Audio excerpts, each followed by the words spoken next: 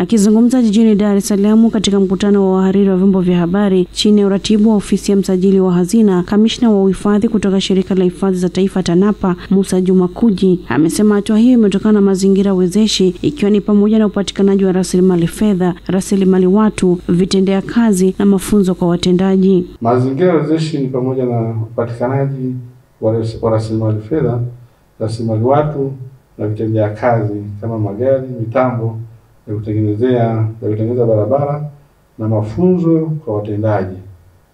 Miongoni mwa mafanikio yaliyopatikana ni pamoja na moja, kudhibiti uwindaji wa wanyama adimu ambapo hakukuwa na tukio lolote la kuuawa kwa faru, sokwe au mbwa mwitu katika kipindi cha miaka mitatu.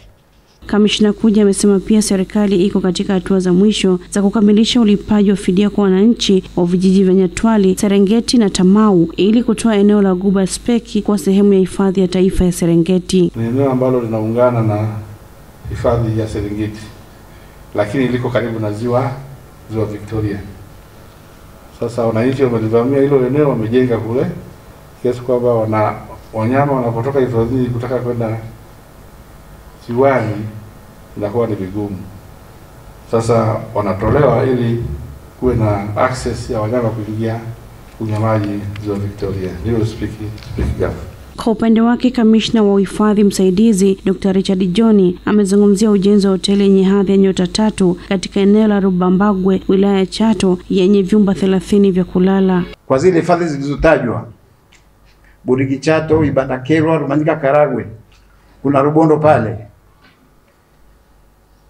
na tathmini ya kina kufanyika strategically kuona ni wapi tunaweza kuwa na huduma ambayo inaweza ikatoa eco services katika maeneo hayo, basi tukaona ni pale Chato. Kwa hiyo haijafanyika tu kwa kurusha dice.